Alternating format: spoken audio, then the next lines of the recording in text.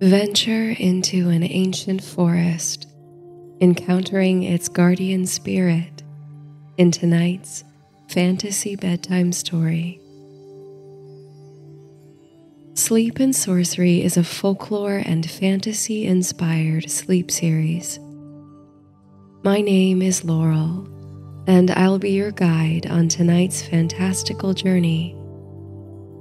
Sleep and Sorcery is one part bedtime story, one part guided meditation, and one part dreamy adventure. I'm here to help you fall asleep. Whenever you're ready, feel free to let go of the story and surrender to sleep. If you're still awake as the story concludes, I'll guide you through a relaxing visualization exercise. In tonight's story, you set off on an adventure leaving behind your cozy home in Slumbershire. You must cross an ancient forest, and deep in the woods, you encounter the guardian spirit of the wood. He offers you rest and shelter, giving you insight about your journey and yourself you come to realize that he's more than a friendly sprite. He is an ageless being of great creative power.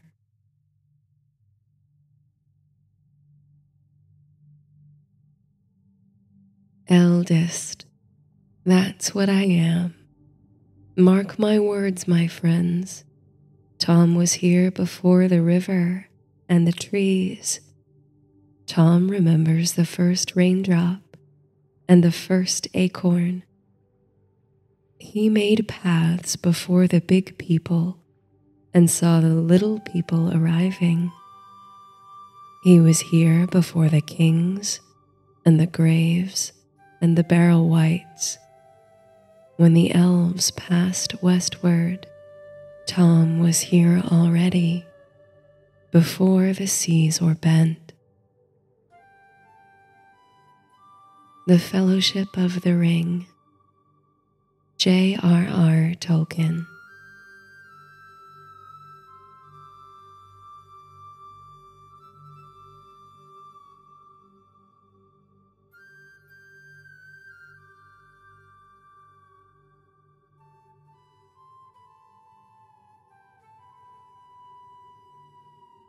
It's mid afternoon when you reach the crest of another hill bringing the ancient forest into sight below. Thick and dark and puzzling, the wood that lies ahead is vast, stretching beyond your vision on all sides. There is no way around, but this you knew from the old songs and stories Though few of your kind have traveled this far from the cozy hamlet of Slumbershire, the tales have survived, however twisted and exaggerated by time and distance. You never thought you might be one of those few who set foot outside the borders of your land You've always been happy, comfortable in the valley, surrounded by kinfolk, well fed too. Hardly a day's travel outside the village, you already feel the ache of homesickness, the longing for a hot meal at the table, tea by the fire. You look over at Theo, whose expression is pensive and soft. It's out of loyalty to him that you undertook this quest. Kind, quiet Theo. To look at him, you'd never suspect the burden he carries. You feel duty bound to follow him and protect him on his journey, even if you don't fully understand the purpose yet. The wizard Lothian made you swear an oath to remain at Theo's side till his quest is finished, to protect him.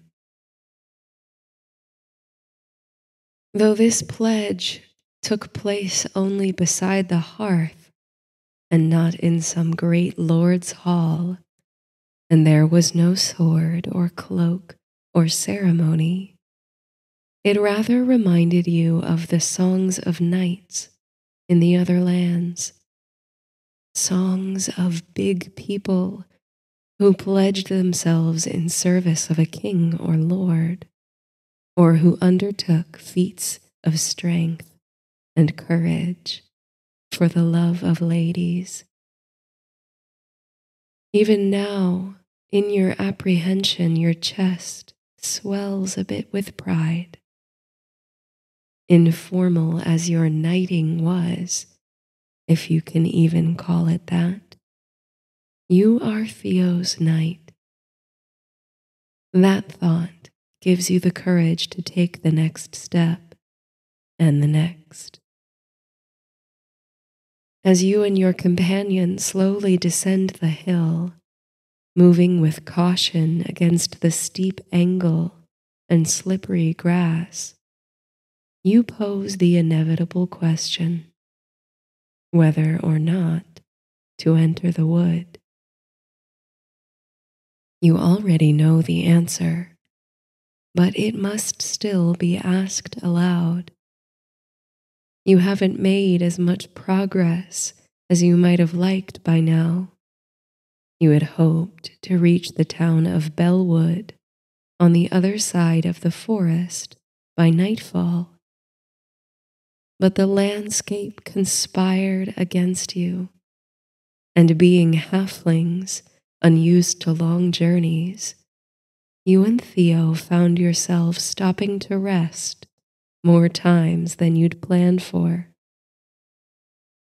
And now, here you are at the very edge of the familiar, the comforts of a home lying leagues behind you, and only the unknown ahead. Theo, though his voice is tinged with some unease, speaks optimistically about the wood. If you can keep your strength and pace up, and if you head due east, you should be able to cross its distance in a matter of a few hours, three or four at most. With the angle of the sun as it is now, that should put you right in Bellwood at dusk, saving you the unlucky fate of wandering through the forest in the dark. That's a lot of ifs, you think, but you keep the comment to yourself. Theo seems energized after your last rest, and you both enjoyed a ration of bread and some fruit plucked from a wild apple tree that brought a semblance of life back to you. The forest has a proper name, Tor Bereth, some relic of a bygone age and tongue, some sort of elvish, most likely. You know the name from the songs but your people only call it the ancient forest.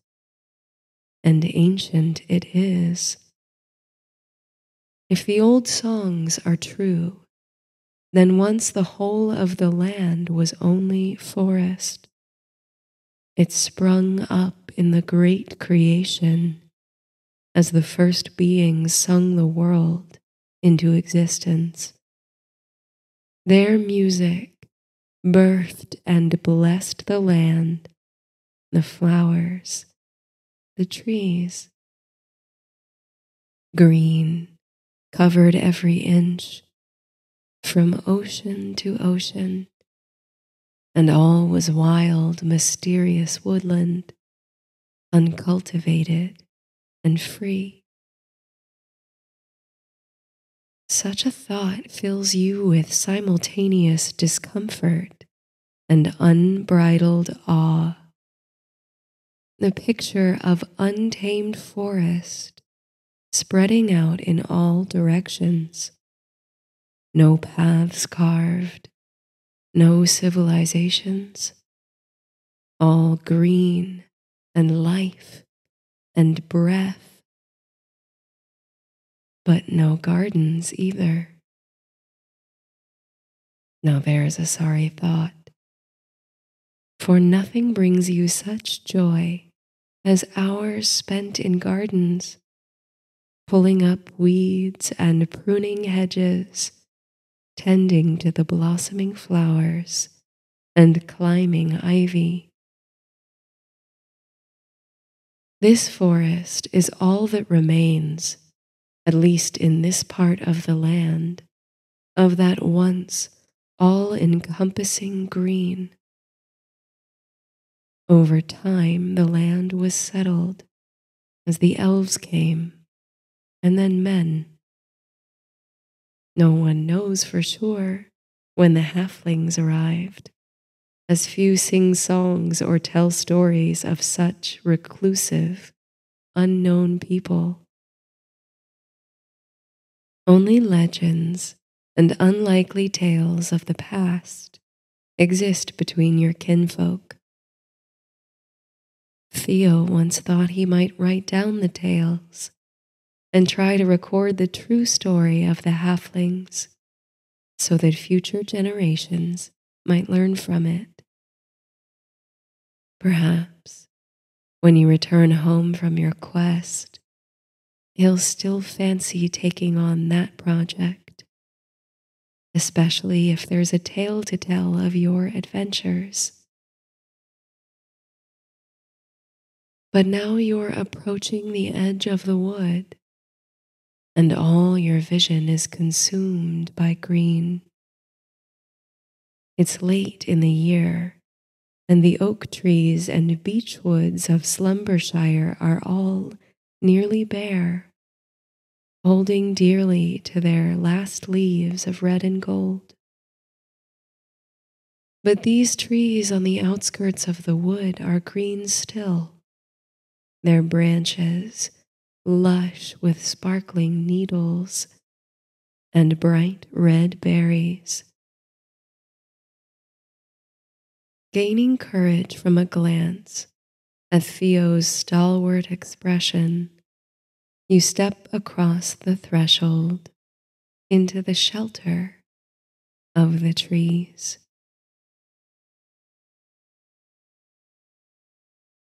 The fluting song of a missel thrush is the first sound to reach your ears in the eerily quiet forest. It puts your mind at ease with its uplifting melody. And to your relief, there's something of a path before you. This might be a smoother journey than expected.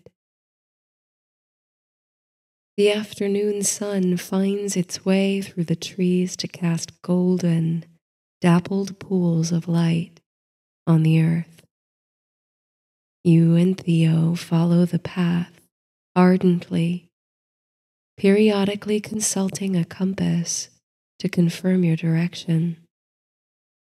Though the path winds and curves around massive trees and rock formations, it always returns to itself, correcting east. You pass the journey with light conversation, amusing yourselves with stories of your friends back home, the trouble you got into as kids, your most beloved and most impossible family members, your dreams for the future. Theo always wanted to be part of the community Hardly any halfling holds ill feeling toward him, and it's a gossipy, if good natured lot. He might be the best loved of anyone in the village for your money. He thought he'd want to be a teacher or something. Maybe even run for mayor of Slumbershire. You admire that about him. He's not attention seeking by any means, but he's never minded being in the center of a conversation or sticking up for those in need.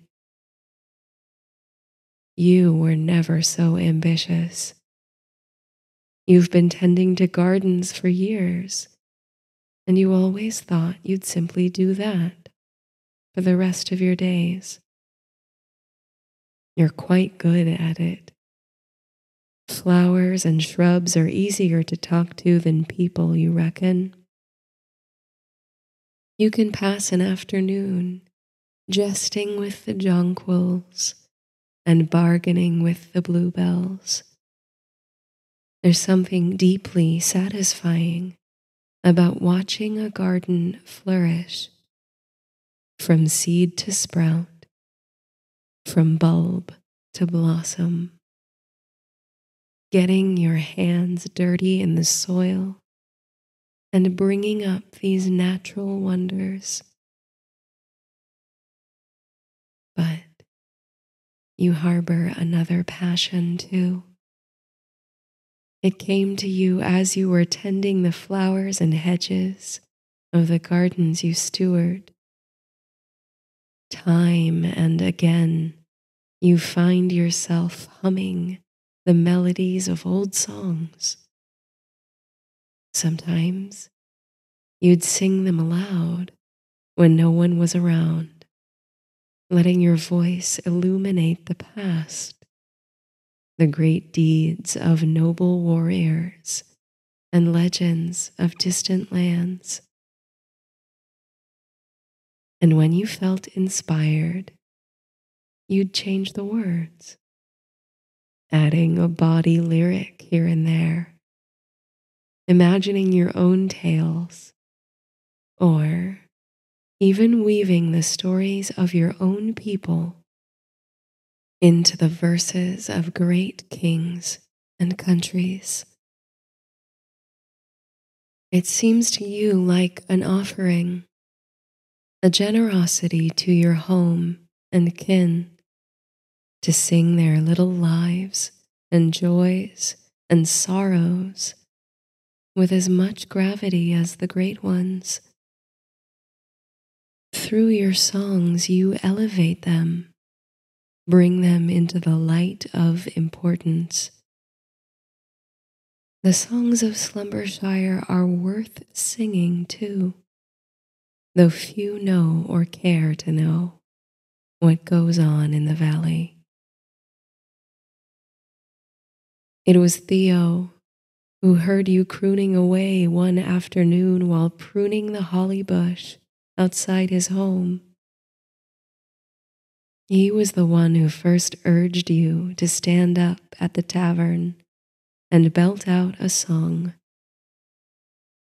Theo conspired to have a flute carved for you by the village woodworker. It was such a thoughtful gift. Soon you were playing and singing at parties every season. Through your music, you found the courage you lacked in social situations. Slumbershire feels so far away. You know you've only just left its borders, and yet it's the farthest you've ever been from home. You're not sure when you'll see her sloping hills again. The party tree decked in ribbons, the children at play in the hollow. If you were back there now, you might try harder to make friends, to be part of the community. You realize you're composing a song in your head, and a smile dances across your lips. It seems, rather, that you're humming along in your mind to the song of the wood, a melody that whistles through the leaves and trips over the rocks of delicate streams. Pink primroses speckle the grass around the path, such fine and delicate flowers that look like they disintegrate at the touch of a hand. You notice red capped toadstools and lichenous stones in elegant natural patterns. This part of the wood is denser with tree cover and vegetation, and the light grows dim. What sun manages to penetrate the canopy casts a rose gold aurora upon the ground.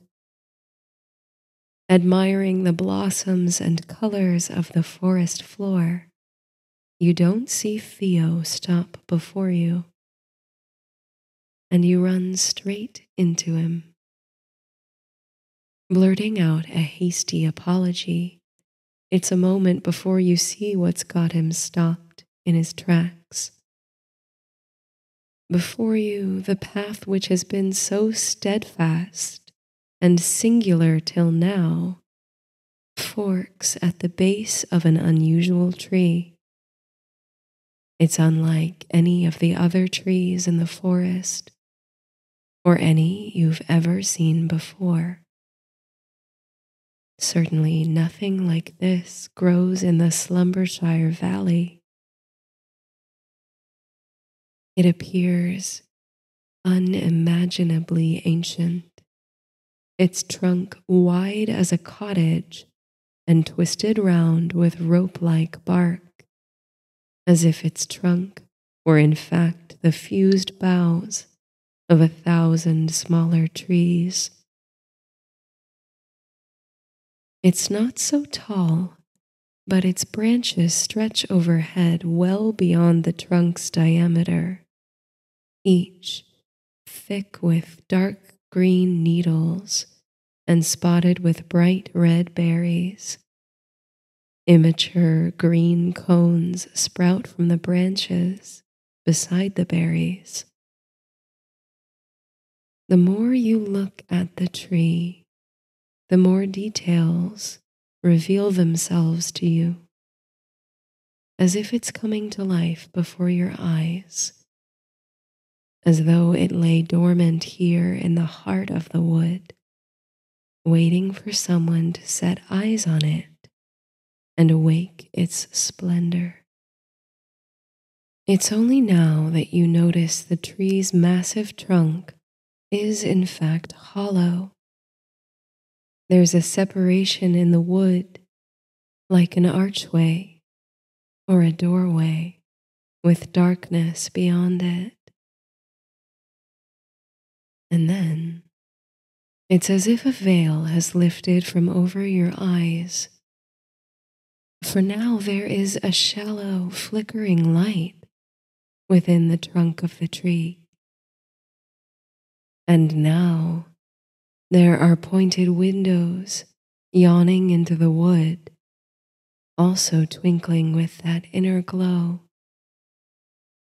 and it seems the open archway stretches and spreads into an oaken door with glass panes that refract the light from within.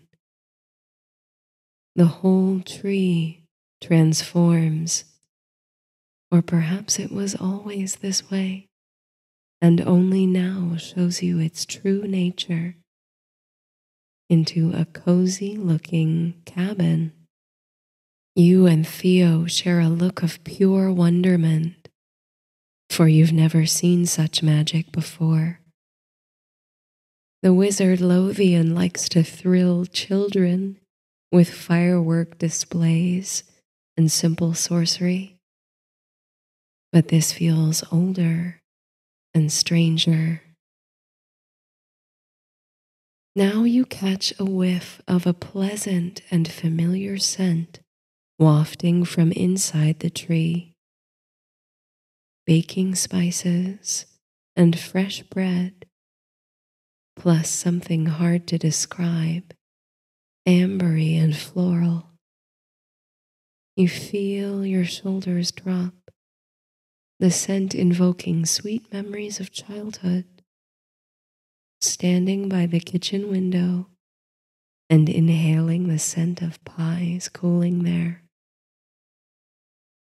There's a chill on the breeze, and your muscles ache from hours of walking.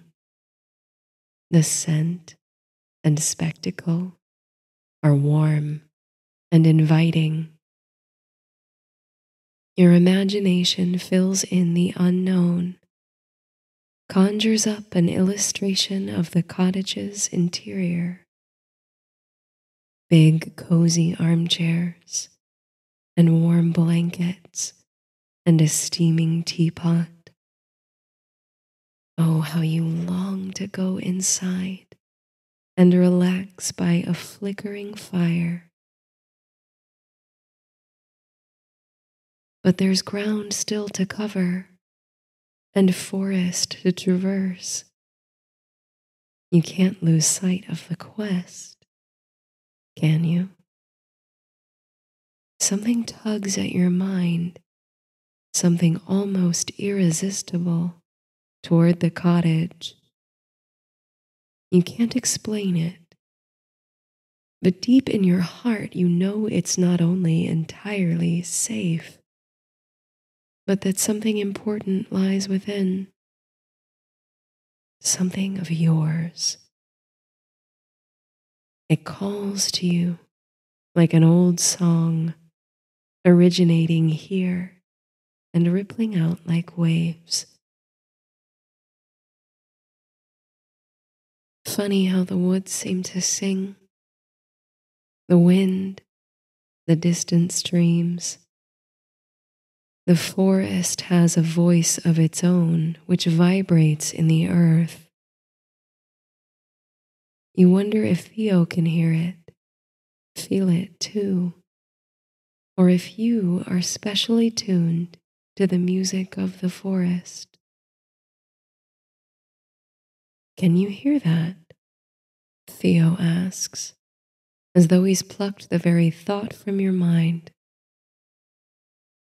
But he's not talking about the steady, sweet humming of the wood, the music that's rung in your ears since you set foot between the trees. No, there's a voice, clear as a bell, coming from somewhere in the forest. It bounces off the trees, confusing your mind as to its direction. Sometimes it's behind you, and sometimes before you, sometimes all around. It's a voice that reminds you strangely of Lothian, the wizard, though it's undoubtedly distinct. Commanding yet tender, bright but weighty. It's like a boat skimming the surface of a wide river, sails catching an easterly breeze, but ready to drop its anchor, hooking itself to the bottom of the river. The voice sings upward, outward, and downward all at once and fills you with awe and spirit so overcome by the beauty and gravity of the voice, you hardly try to absorb the words it sings. But here and there, you pick up a canny phrase or two. The flowers are sleepin', the night comes along, and down in yon forest, old Jack sings his song. Despite your struggle to locate the direction of the voice, It does seem to be drawing closer. You find yourself gathering a deep breath, sure that the singer will soon emerge before you. The forest she sparkles, the evening breeze blows, and old Jack's a wandering is come to a close. Nearer still it draws, and the sweetness of the voice fills your ears, softening your heart. Old Jack will keep singing, the forest his choir, till ye wend and pluck the new world from the fire. Footsteps through the trees from the path whence you came and the sound of a walking stick falling softly on grass and gravel. You and Theo turn round to see the bearer of the extraordinary voice step through the trees. For a moment, you are certain it's Lothian, for the figure is great tall and bearded, bearing a staff much like the wizard's, with a greenish crystal embedded in its head. You are half ready to leap into his arms, grateful that he's come to guide you on your quest. But it isn't Lothian at all, you realize. Surely it looks nothing like him save for some indescribable impression. Yet the sense of safety and trust remains.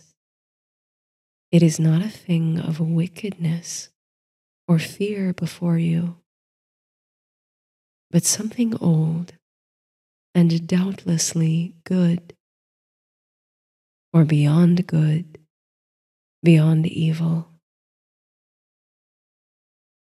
He seems to shine at his edges, like the last rays of sunlight breaking over a hilltop.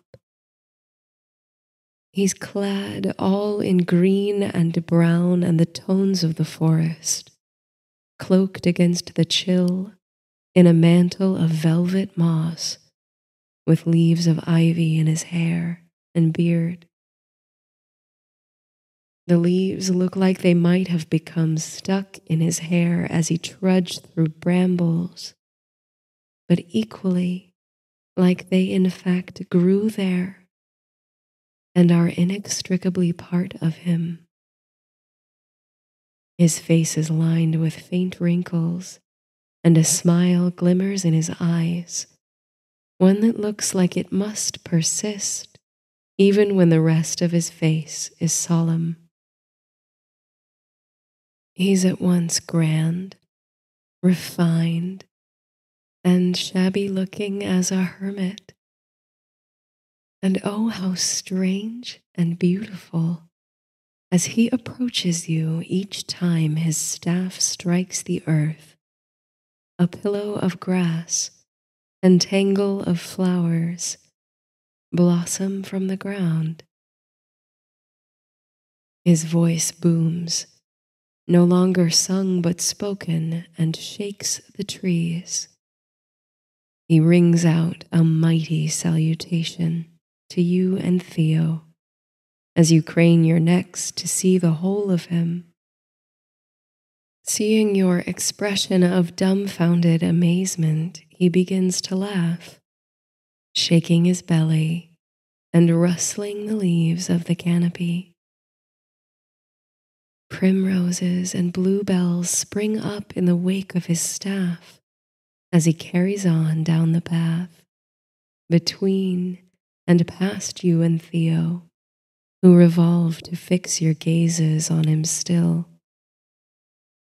He seems to shrink as he moves toward the door of the tree trunk cottage, hunching forward and diminishing into the size of an ordinary man.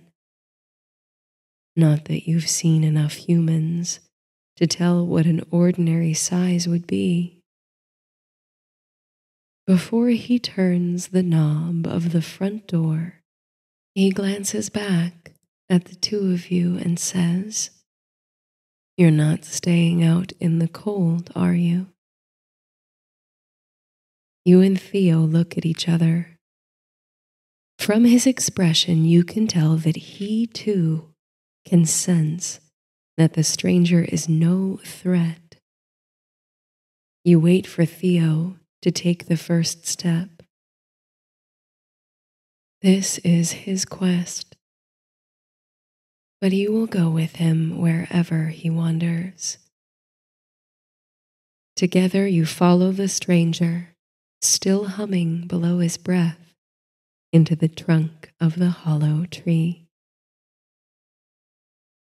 Once beyond the threshold, your face flushes with the warmth of the cottage. The stranger is lighting a fire in the fireplace. You take in the interior, very like what you imagined, only larger, surprisingly so. The cottage integrates seamlessly with the tree's natural make. The walls are the polished wood of the trunk, sloping and curving organically. Big, fluffy armchairs sit before the fireplace, laden with knitted blankets. There's a small kitchen and a table in a corner that emerges from the floor like a squat tree stump. A throw rug across the floor appears to be woven of strong, sparkling grass from the forest floor. About the windows are intricate carvings in interlocking patterns, and in the very center of the chamber Carved elegantly from a light colored wood is a spiraling stair that reaches straight upward through a hole in the natural wood ceiling to an unseen second story.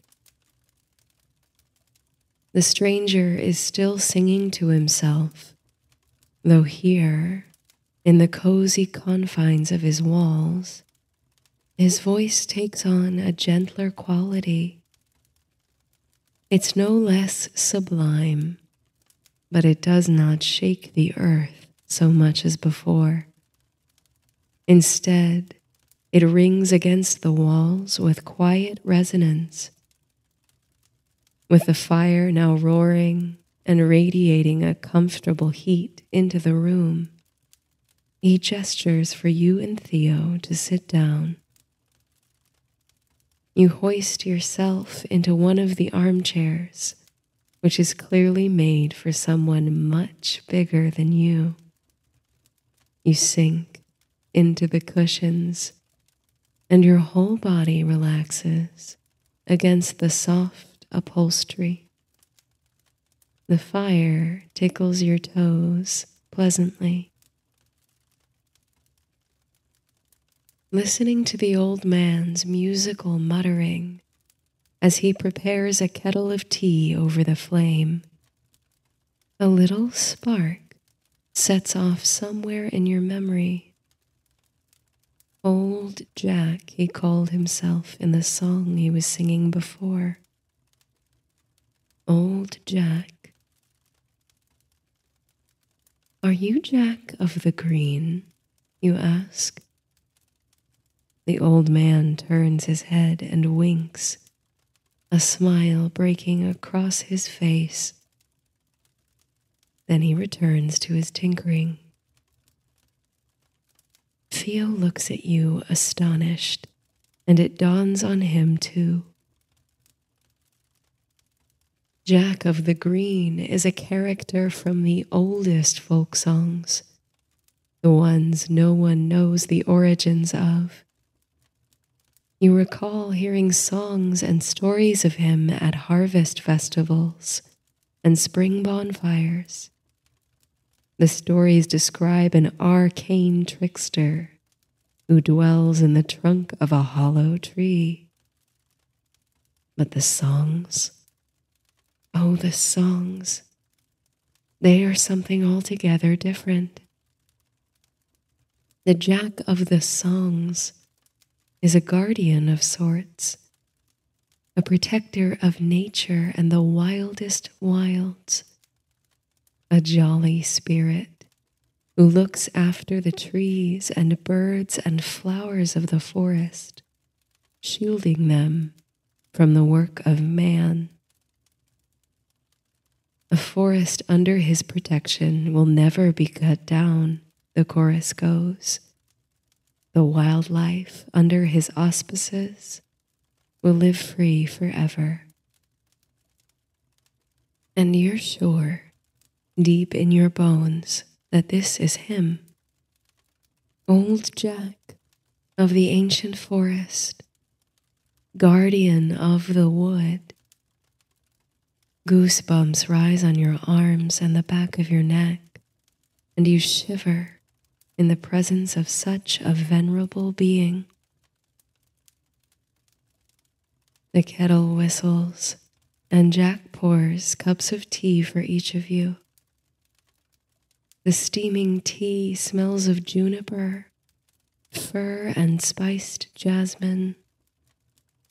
You blow on it gently to cool it then raise the teacup to your lips.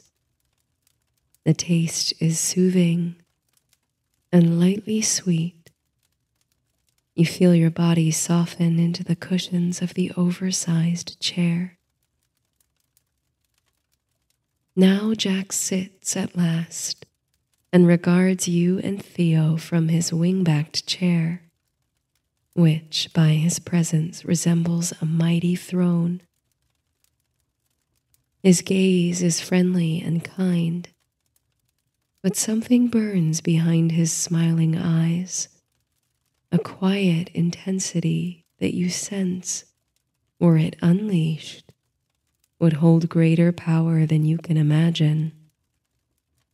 He looks between you and speaks.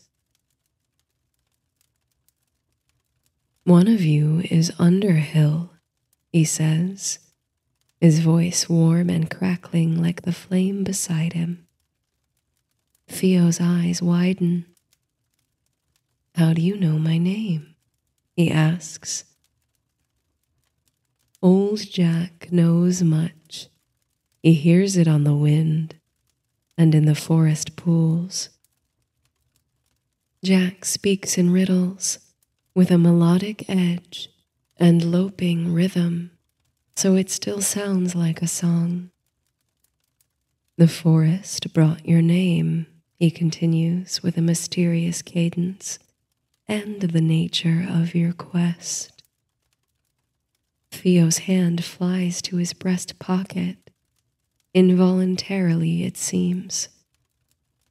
Only you and Lothian know what he conceals there, though you do not fully grasp its importance a relic of some kind, perhaps of great power, and certainly of great significance to the realm. The outcome of your quest depends on its secrecy. So, how does Jack know of its existence? But rather than pressing for more, Jack simply moves on he turns to face you now, and in your periphery you can see Theo relax, exhaling a sigh of relief. And you, says Jack, no name followed you on the lark's morning song. Tell me, who are you, little one? You swallow a lump in your throat Jack's gaze burns still with that low intensity, and you feel as though he sees through you into your very soul. You offer your name, which escapes your lips more like a croak than speech. Jack smiles. You're a bard, he says. It's not a question, but a statement of pure insight You sputter to say that no, you're a gardener. Surely a lover of song and an aspirant to higher music, but a bard? No. Yet Jack's smile, his kindly eyes, and his fierce energy fix still upon you. You're not used to such attention, and certainly not from a being such as Jack, a mysterious guardian of the forest. You might have thought he would look only to Theo, bearer of the burdensome relic, the heroic and chivalrous halfling but the nature of Theo's quest seems only a passing fancy to Jack of the Green, a trifle to be noted, then dismissed. He's infinitely more interested in you, a lowly gardener with a hobby for singing folk songs. Old Jack offers you supper and lodging for the night comes on quickly in the wood, and the wind is cold this evening. You graciously accept. In the morning, you'll resume your quest, rested and fed. As Jack prepares a meal in the kitchen, you and Theo stretch out upon the hearth to warm your hands and whisper to each other. He knows of Theo's quest, but shows no interest in the object. And he knew you were a bard, simply from your demeanor. Flowers grow spontaneously in his wake. Surely this Jack is a being of great magic Theo confides in you that he also sees him as similar to Lothian, but older and wilder. You wonder what Lothian could tell you of such a man. For surely, if there are tales of Jack in remote Slumbershire, the wise old wizard will know of him too. Outside the windows, the forest grows dark, and a night wind whistles through the trees. You feel safely cocooned inside the tree cottage, and you're grateful to be in out of the cold. Jack invites you to the tree stump table, and you break bread all together. You take turns politely asking questions of Jack, all of which he answers in riddle and song. Where do you come from? You ask. Old Jack was here before the forest and the rivers, he answers. How do you come by your magic? asks Theo. No magic is mine, nor no land. The land lends me her magic a while, he replies. What is your purpose here in the old forest? You ask. I keep my own country, and these woods here keep me well, he responds. On like this it goes, so that the more you learn of Jack, the less you're sure of. After supper, you sit again in the comfortable chairs, feeling the warmth of the fire. Jack asks you to sing for him. It's been so long since he had company, aside from the birds and rocks and trees. A voice like yours would be welcome inside his walls. At first, you're taken aback, having heard Jack's sublime singing voice, which moved the very earth. You feel inferior. But then You swell with pride at the honor of such a gifted singer, asking for the pleasure of your song. Theo gives you a reassuring nod, his face bright and confident. To conjure up the courage to sing before the master of the forest, you close your eyes and let your mind slip into memory, transporting you to a spring festival in the valley. A bonfire blazes and halflings dance, merry with food and drink and fine company. Their shining faces give you strength and stoke your voice. The song is one of your own composition, wrought of the small and unremarkable days of you and your kin on the slopes and dales of Slumbershire, made important only by the value of being sung with care. We often read and written find, as learned men do us remind, that lays that now the harpers sing are wrought of many a marvelous thing some are of weal and some of woe, and some do joy and gladness know. In some are guile and treachery told, in some the deeds that chanced of old. Some are jest and ribaldry, and some are tales of fairy. You sing of toil and gardening, of summer nights at play of quiet mornings under the great oak tree, of seasons changing and families growing, of nothing of great consequence, but of things that mean the world to you. Inside the cozy cottage, your voice rings clear and bright, vibrant as a sunrise and calm as a placid pool. You've never listened to yourself so.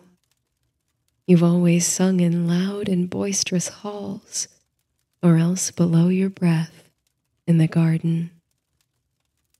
Here, with no other noise save the glittering fire, you can feel the very vibrations of the music in your chest, your chair, and against the walls of the cottage. It's as though you wrap yourself and Theo and old Jack in song. When you conclude, a thoughtful silence comes to rest between you all. Theo's eyes are shining. Jack is grinning from his seat by the fireplace. You're a bard, Jack says again, with finality. As I am old Jack, and I am Torbereth, you are a bard. You can feel yourself blushing. With an expression of puckish mischief, and now you can see the glimmer of the trickster Jack you know from the tales. The forest guardian tells you there's something he'd like you to see. Until now, you hadn't noticed that there was a doorway past the kitchen. Maybe it wasn't there until now, until needed, just as the cottage itself waited to be observed before making itself visible. You and Theo wrap blankets tight around your shoulders, and old Jack pulls tight his mossy cloak. Through the doorway, you follow him. Night has settled, sparkling in the glade. You're on the far side of the tree now, and you step carefully over its tangled root system. Jack strikes his staff upon the ground, where springs a tuft of grass and blossoms, exuding a delicate bioluminescence. The staff's crystal begins to radiate a gentle green glow. It's enough to softly illuminate the scene before you. There, below the roots and the sloping path, is the mouth of a creek. It originates from beneath the tree's roots, spontaneously with no apparent source, but flows forth actively as though it's gathered momentum from somewhere. On the banks on either side grow thickets of flowers you've never seen before, white and opalescent in the crystal's glow. Old Jack was here before the first rains fell, Jack says, his voice low and booming in the night. In the moving water below, the crystal's light reflects, rippling. There you can see the vague silhouettes of yourself, Theo, and Jack of the Green wrinkling on the surface. In the reflection, though liquid and in constant motion, Jack looks young and splendid his beard a fiery red and dripping with ivy. We gave shape to the world, my sisters, brothers, and I, he continues. I sang the trees to life, and the birds, and all the creatures of the forest.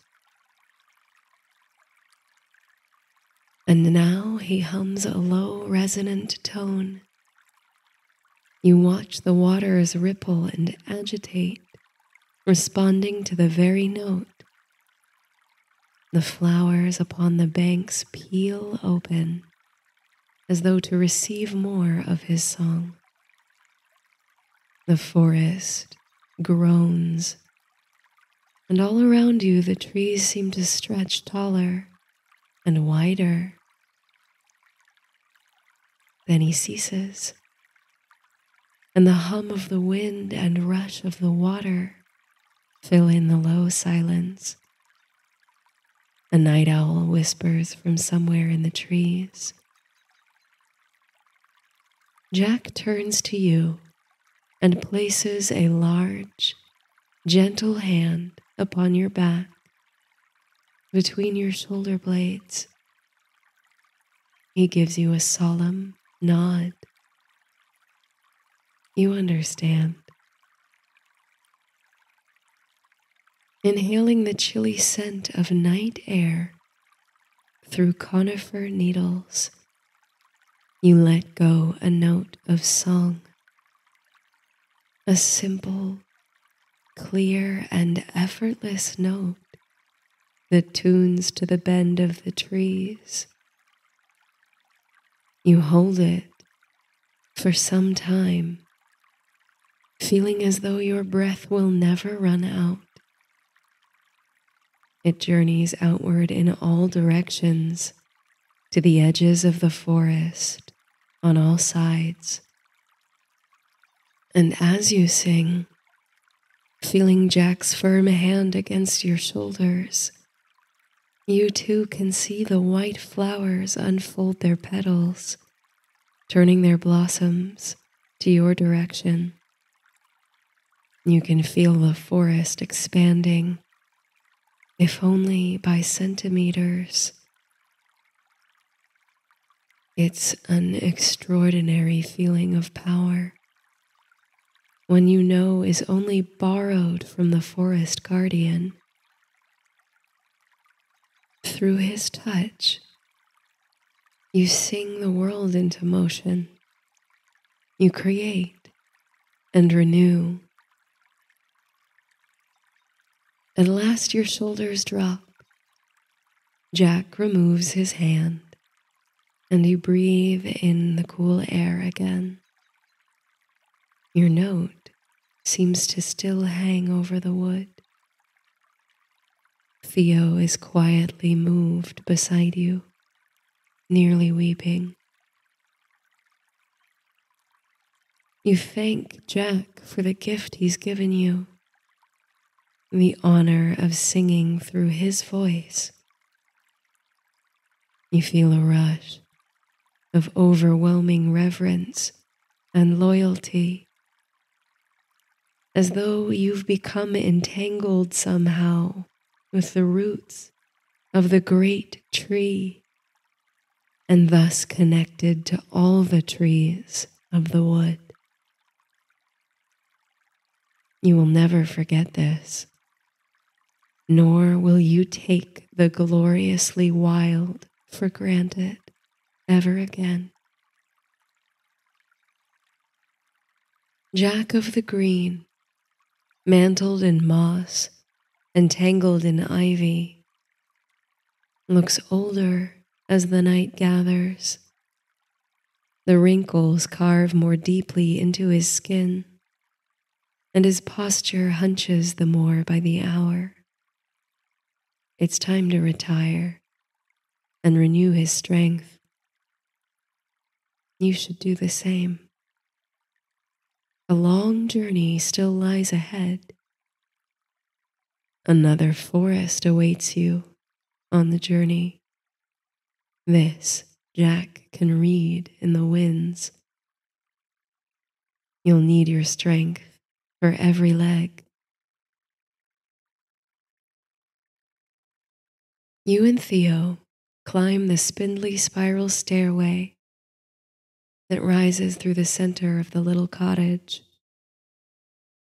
On the second floor, there are two rooms already made up for each of you.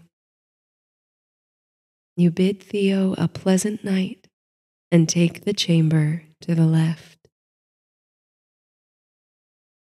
The room is small and cozy, just the perfect size for someone like you. It must be Jack's magic again. Or, like he said, the magic he borrows from the earth. Just as the cottage revealed itself to you in time, perhaps it grew to accommodate exactly two halfling guests. This theory seems more likely by the second, as you realize in the spill of moonlight through the window that the blankets on the bed are quilted with patterns resembling your favorite flower, the ones you so love to plant and care for in the gardens you tend. Before climbing into bed, you take a look out of the small window. You can see the tree's wide reaching branches overhead, through which the moonlight peeks. Below, you realize you can see the creek, flowing continuously in the night. You are exhausted. When you think of rising again in the morning to walk endlessly through the woods, your muscles ache and groan. But as your eyes attempt to follow the creek's path, then lose sight in the density of wood, you wonder if old Jack might give you a boat.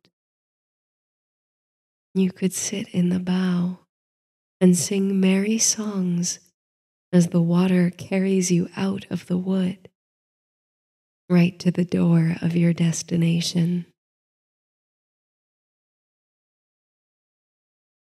With this pleasant thought drawing a smile to your lips, you retire to the bed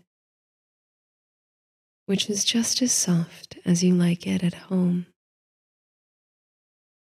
You hope Theo is comfortable in his chamber and that he sleeps well tonight. He needs his rest even more than you do. What an auspicious evening it's been, you think. What gifts you've received. The very spirit of the forest gave you a taste of the song of creation. For he was among the first beings who sang the very world into shape and existence. Funny that he showed no interest in Theo's quest, nor any inclination toward the relic's power.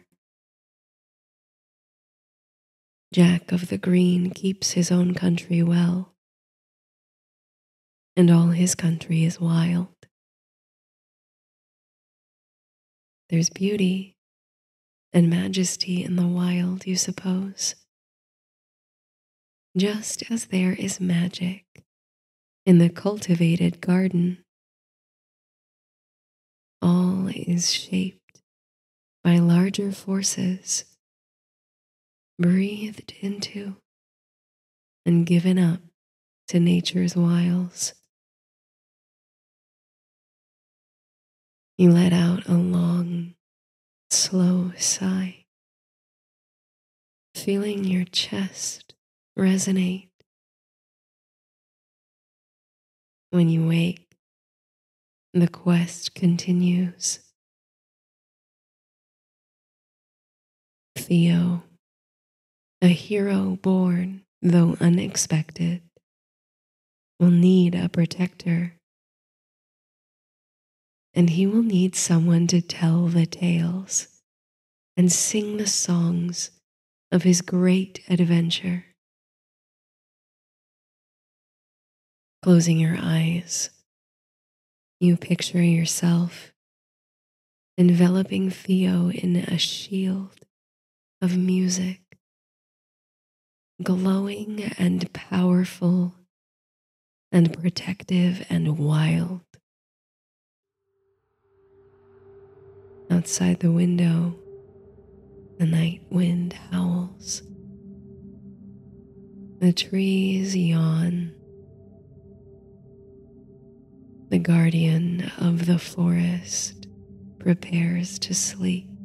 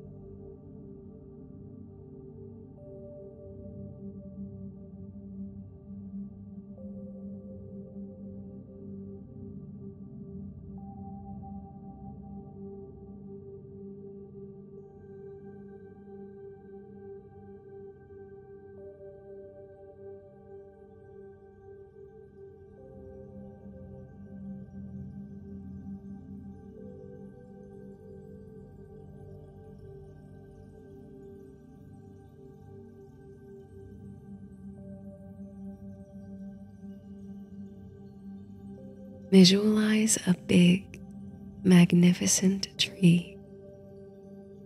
Whatever kind of tree comes to mind. It might be a redwood or a Douglas fir. Maybe it's a specific tree you've seen before in childhood or recently. Or maybe it's a tree entirely of your imagination.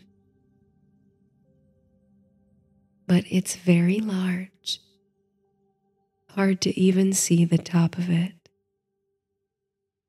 Look up at the branches. Let a gentle breeze rustle through them. Breathe.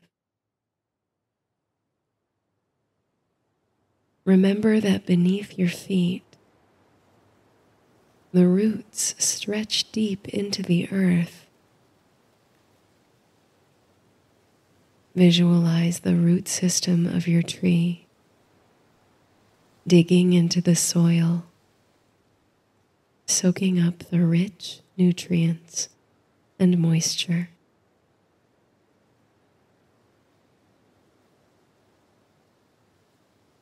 As the high exposed limbs of the tree soak in the sunlight, the roots gather up nourishment from the ground. These dual energies, above and below, light and dark, allow the tree to thrive and grow.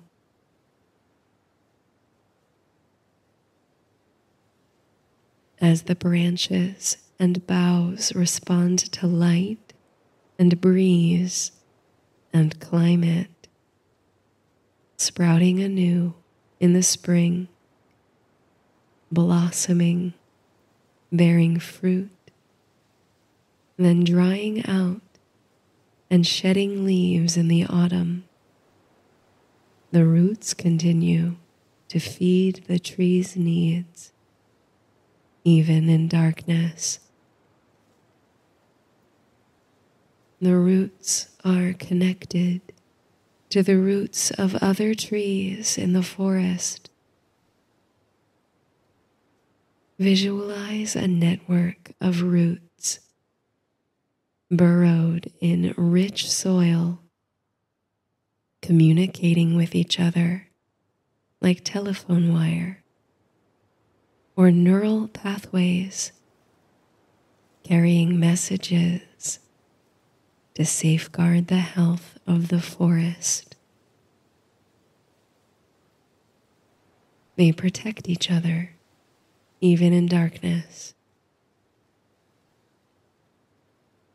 Keep observing your tree as it cycles through the seasons of autumn, leaves golden and crisp or evergreen. Winter boughs heavy with snow. Spring blossoms on every branch,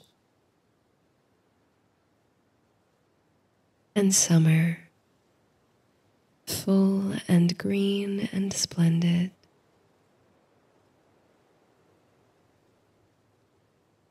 Breathe. trees give off energy, healing and nutritive. Visualize your tree in a halo of calm, light giving energy, as though the final rays of sunset shine from behind it.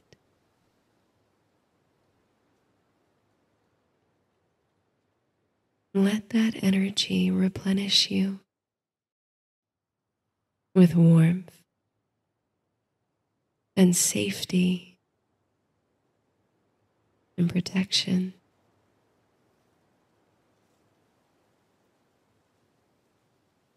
Let your branches enjoy the gift of sunlight and let your roots gather nourishment even in darkness. Be well. Sweet dreams.